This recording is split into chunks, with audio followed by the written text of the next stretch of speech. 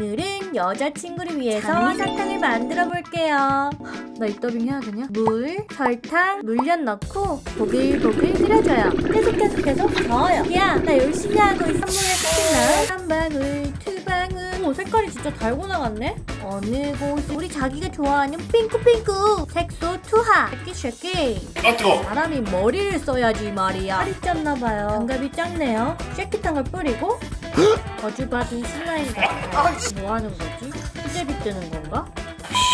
찍고 있지. 음, 욕하는 것도 찍어 한땀 한땀 수제비를 붙여요 근데 이게 왜네? 괜찮은데? 음 그만해 그만 하려고 했다 수제비 반죽이 남았나봐. 꼼데가를 속 녹는 중. 잎사귀도 만들어준대요. 밥 먹고 이것만 해 예쁜 장미에 잎사귀가 생겼어요. 인정하기 싫지만 잘했단 말이야. 근데 오빠 내 맘 알지?